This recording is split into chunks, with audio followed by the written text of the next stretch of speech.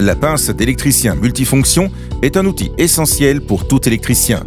Elle peut être utilisée pour sept types différents d'utilisation. 1. Vous pouvez enrouler du câble et plier des anneaux, qui peuvent être courbés vers la droite ou vers la gauche, car la pince a des arrondis des deux côtés de la mâchoire. 2. Vous pouvez l'utiliser pour dénuder l'isolation de 2,2 à 3 mm de diamètre, 3 et de 3,5 à 4 mm de diamètre.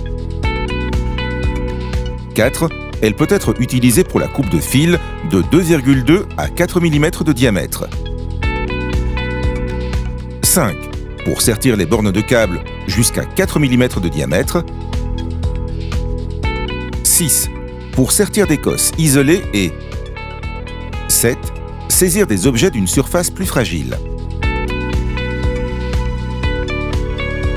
Les mâchoires de la pince sont dentelées pour empêcher le fil de glisser et assurer une prise ferme des câbles et fils. Grâce à leur design spécial et leur forme innovante, les poignées assurent une prise en main extrêmement ferme.